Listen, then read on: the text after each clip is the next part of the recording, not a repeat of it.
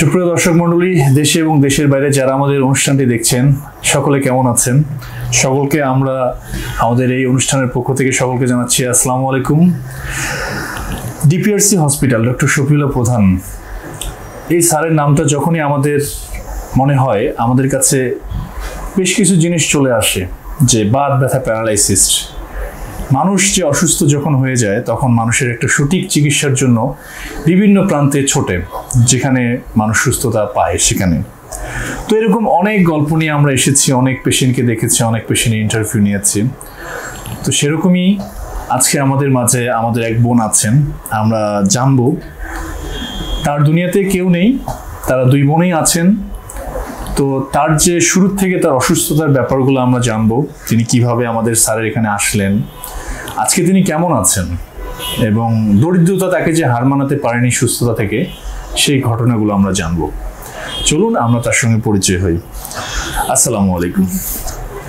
তো প্রথমে একটু পরিচয় হচ্ছি যেহেতু আপনার বোন আজকে ঠান্ডায় একটু গলা বসে গেছে। আপনি ওর বড় বোন তাই তো? জি। ফার্স্টে আমি একটু আপনার বোনের পরিচয়টা জানতে চাচ্ছি ওনার নামটা একটু কাইন্ডলি যদি বলেন। ওনার নাম দুলু। দুলু বয়স কত হবে? বয়স চল্লিশের চল্লিশ হবে আচ্ছা। তারপর আপনার পরিচয়টা আপনার নামটা একটু বলুন। আমার নাম রিজিয়া। রিজিয়া? জি। আপনাদের দেশের বাড়ি কোথায়? দেশের বাড়ি বরিশাল। বরিশাল দেশের বাড়ি। জি। আচ্ছা আমরা জানতে চাচ্ছিলাম যে আপনার বোন you যে প্রবলেমটাতে পড়েছিল আর কি যে সমস্যাটা ছিল। আমরা শুরু থেকে একটু জানতে চাচ্ছি যে ইনি কতদিন থেকে অসুস্থতা মানে শুরু হয়েছিল তারপর কোথায় কোথায় গিয়েছেন সেটা একটু আমাদেরকে বলুন আগে তো মনে করেন ওর তো অনেক বছর ধরেই মনে করেন এজমা রোগ আছে। জি জি জি। তারপরে মনে করেন বিভিন্ন ধরনের ভিতরে সমস্যা আছে।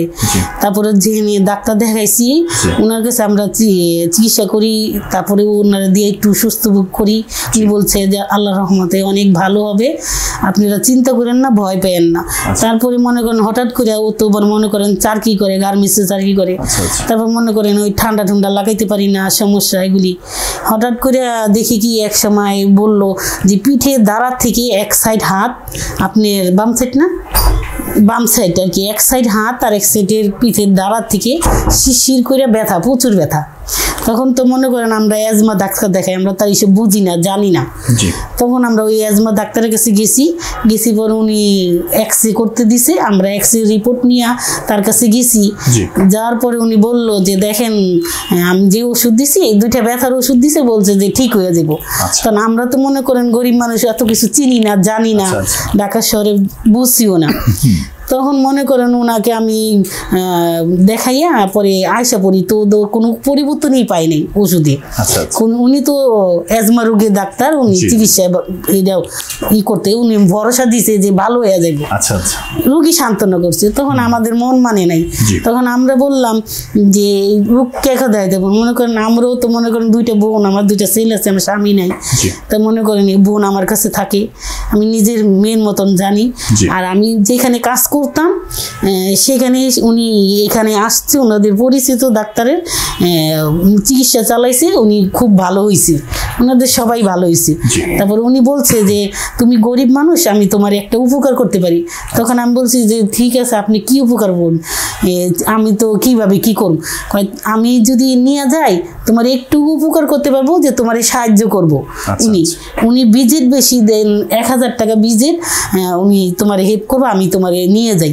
তখন এই রোজার ভিতরে আর কি কি করব? তো চলতেই পারতেছে না। এত ব্যথা। আর এত শুইতেও পারে না ঘুমাইতেও পারে না কিছু না। তখন উনি নিয়ে আসছে। নিয়ে আসার পরেই স্যারের দেখাইলো স্যারে পরিচয় দিল। দিয়ে উনি এমরা আর মনে করেন শ্বাসকষ্ট ইয়া টিবি রোগীর সন্দেহ করছিল যে আপনি এটা পরীক্ষা করেন। পারবেন? তখন বলছি যে দেখি রোগ দেখেন দেখাইতে হ্যাঁ, করি। ছিল আপনার, জি। তারপরে বলছে যে আপনি রুগী ভর্তি করতে পারবেন? আমি কি কি স্যার যদি চিকিৎসা দিয়ে চালাইতে পারেন আমরা গরিব মানুষ তাহলে আপনি দেখেন। আচ্ছা দেখি। পরে দুইটা পরীক্ষা দিল আমিরও পরীক্ষা করলাম টিবি রোগের পরীক্ষা করছি টিবি রোগীটা ভালো হয়েছে স্যারে দেখে খুশি হয়েছি যে না আমরা ভয় পাইছিলাম। তারপরে এমরিয়াতে যে রিপোর্টগুলো উঠছে উনি দেখা ভয় পেয়ে গেছে। আচ্ছা। ভয় পেয়ে গেছে যে যে ঘাড়ের এরকম কইরা ফেলাইছেন চার কি কইরা? যে আপনার ঘাড়ের বেশি অংশ আর কি নষ্ট হয়ে গেছে গা। মানে এমআরআই করার পর যেটা ধরা করার পর ধরা আচ্ছা, পড়ছে। আচ্ছা, জি। ধরা পড়ছে পরে তখন মনে করুন দুই ভাই নিয়ে কান্দাকাটি করতেছি যে আমরা কি করব? মানে কি করা উচিত এখন কি করা উচিত? উনি দুই মাসের ওষুধ দিছে আমাদের। দুই মাসের ওষুধ দেওয়ার পরে মনে করেন দুই মাস পুরো হয়নি এখনও সময় আছে। আল্লাহর রহমতে আমার বোন অনেক সুস্থ জি। যেমন হ্যাঁ ওই হাতের ব্যথা নাই শিশিরি নাই কিচ্ছু নাই অনেকটাই সুস্থ। বলতে হয় যেটা এটি যেমন এমন সুস্থ হয়েছি আল্লাহ রহমতে সব ভয়টা আমাদের নাই কাইতে গেছে। যে জায়গায় ভর্তি হয়েছিল যে জায়গায় দুই বোনে কান্নাকাটি করছি আচ্ছা আমি একটু জানতে চাচ্ছি যেটা হচ্ছে স্যারের কাছে যখন আপনি আসলেন এর আগে তো আপনি জানতেন না যে আপনার বোনের কি হয়েছে। না না না তাই না? তো স্যার আপনাকে কি রোগের ব্যাপার কথা বলেছিল? ওনার কিন্তু দুটো রোগ হয়েছিল একটা হচ্ছে পিআইডি। আর হচ্ছে পিএলআইডি। যে রোগ দুটো হয়েছিল তাই না? এটা স্যার আপনাকে বলেছিল যে। এমআরআই করার পদ্ধতি হ্যাঁ, হ্যাঁ। আচ্ছা তারপর বলেন। তারপরে মনে করুন উনি চিকিৎসা দিল। তো উনি এবারে সরকারি চিকিৎসা দিল আল্লাহর রহমতে। এই চিকিৎসা থেকে আমরা অনেক উপকার পাইয়া যে মনে করেন দুই মাসের একটু বাকি ছিল। দুই মাস লাগে না আল্লাহর রহমতে। তাতেই আল্লাহর মতো অনেক সুস্থ। এটাই দিছে। তো এটাই জন্য মনে করেন অনেক সুস্থ সন্তোষ তার কাছে আমরা যে আমার বোনের এই সুস্থ করছে এর চেয়ে আর বেশি কিছু নাই। আচ্ছা আচ্ছা? তার মানে এখন আপনার বোন স্যারের কাছে যেদিন এসেছিলেন আজকে এখন উনি মোটামুটি অনেক ভালো আছেন সুস্থ জি আছেন। জি।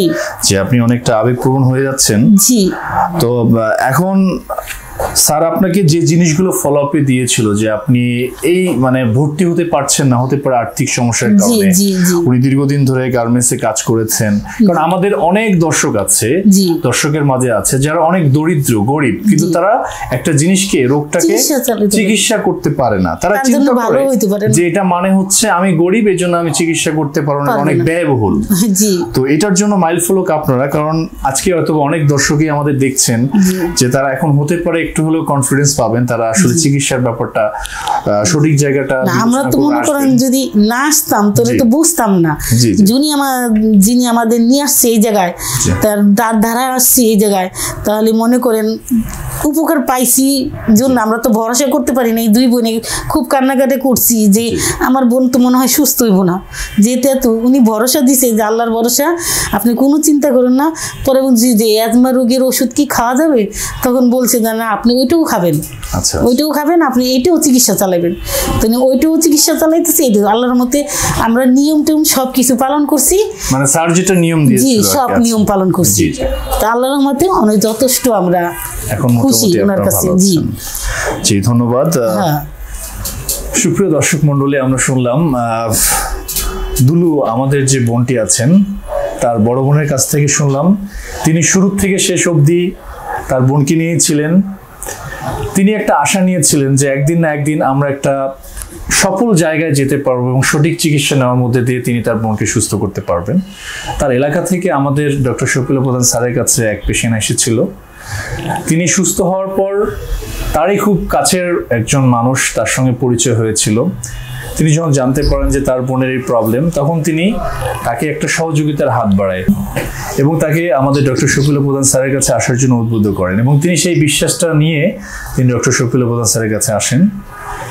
আজকে আমরা তার মুখ থেকে শুনলাম, বিস্তারিত জানলাম যে তিনি কীভাবে এসেছিলেন ডক্টর তার প্রথমে তার এমআরআই রিপোর্ট দেখে ঘাবড়ে গিয়েছিলেন। কিন্তু স্যারের যে নিয়ম কারণগুলো ছিল, স্যার তাকে এডমিশনের কথা বলেছিলেন, কিন্তু তার টাকা পয়সার ব্যাপারের অভাবজনিত কারণে তিনি ভর্তি হতে পারেন নাই। তারপর তাকে, স্যার তাকে একটা ট্রিটমেন্ট দিয়ে দিয়েছিলেন ঔষধ। তার দুটো জিনিস কাজ করেছে। স্যার তাকে যে নিয়ম কানুনগুলোর কথা বলেছিল এবং ঔষধগুলো ঠিকভাবে খেতে বলেছিল এবং তিনি সেটা যথাসময়ে সেই জিনিসগুলোই করেছেন, আজকে তিনি সুস্থ হয়েছেন। তো সুপ্রিয় দর্শক মণ্ডলী, আজকে আমাদের যে দুলুবনের যে গল্পগুলো আমরা শুনলাম, আমাদের আজকে হাজারো দর্শক আছেন যারা প্রবাসে আছেন এবং দেশের মধ্যে অনেকেই আছেন, অনেকেই শুনছেন। আমি আজকে সেই শ্রেণির লোকদেরকেই বলব আজকে আমাদের ভিডিওটা, যে যারা আমরা দরিদ্র লেভেলের নিচে বাস করি, মধ্যবিত্ত ফ্যামিলিতে বাস করি, যাদের এই ধরনের অনেক সমস্যা আছে। আপনারা অবশ্যই ডক্টর শফিউল্লাহ প্রধান স্যারের সঙ্গে চিকিৎসা নেওয়ার জন্য আসবেন। স্যার খুবই আন্তরিক।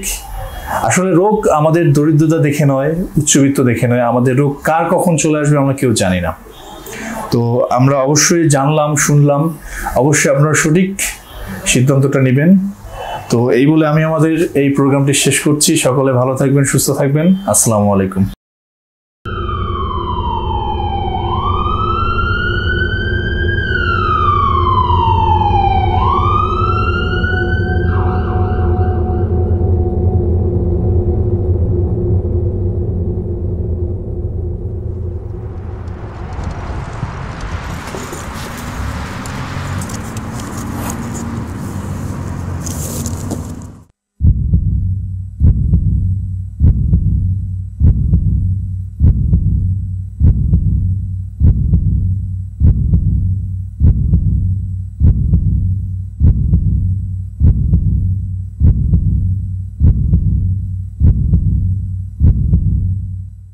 দীর্ঘজীবী হওয়ার প্রথম পদক্ষেপই হচ্ছে সুস্বাস্থ্য নিশ্চিত করা।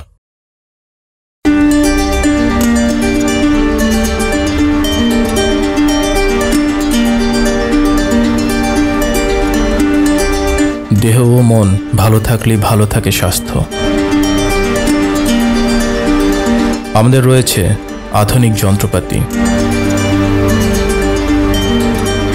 সঠিক ও স্ট্যান্ডার্ড মানের প্যাথোলজি পরীক্ষার নিশ্চয়তা। আমরা রোগীদের প্রতি খুবই যত্নশীল ও আন্তরিক।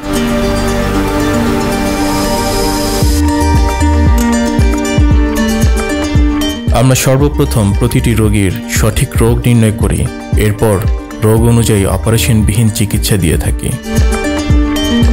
আমাদের প্রতিটি ডক্টর, নার্স ও থেরাপিস্ট প্রশিক্ষণপ্রাপ্ত ও দক্ষ। আমরা প্যারালাইসিস রোগীদের নতুন করে চলতে শিখাই।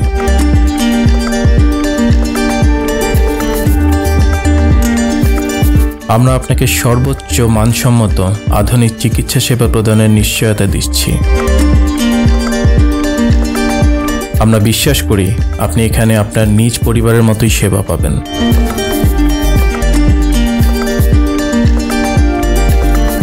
বাত ব্যথা প্যারালাইসিস ও আর্থ্রাইটিসের একটি নির্ভরযোগ্য প্রতিষ্ঠান। আমরা চাই না আপনারা বারবার আমাদের কাছে ফিরে আসুন তবুও আমরা আছি সবসময় সর্বদা আপনাদের পাশে TPRC hospital and diagnostic lab limited. আস্থা বিশ্বাস ও নির্ভরতায় অবিচল।